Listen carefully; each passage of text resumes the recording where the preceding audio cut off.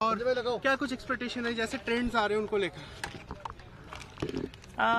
पूरी आशा है कि जनता ने कांग्रेस को आशीर्वाद दिया है और कांग्रेस की सरकार बनने जा रही है। शुरुआती रुझान आ रहे हैं काफ़ी पीछे चल रही है अभी कांग्रेस में। कितने रुझान आ चुके हैं? अभी शायद अभी पोस्टल बैलेट नहीं पोस्टल अभी कुछ नहीं कह सकते हैं क्योंकि अभी शुरुआत हुई है। मुझे लगता है कि फ़र्स्ट राउंड भी पूरा नहीं हुआ होगा।